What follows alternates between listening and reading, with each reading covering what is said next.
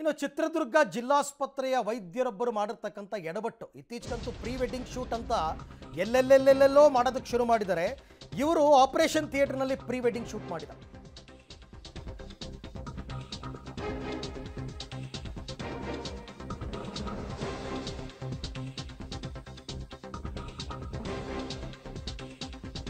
ಚಿತ್ರದುರ್ಗ ತಾಲೂಕಿನ ಭರಮಸಾಗರ ಆಸ್ಪತ್ರೆಯಲ್ಲಿ pre wedding shoot ಮಾಡಿದ್ದಾರೆ.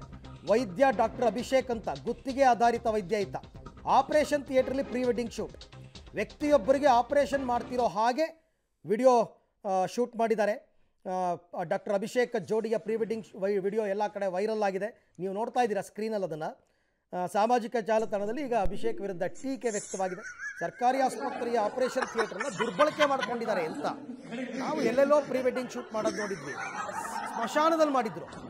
ಈಗ ಆಪರೇಷನ್ ಥಿಯೇಟರ್ಲಿ ಮಾಡಿದ್ದಾರೆ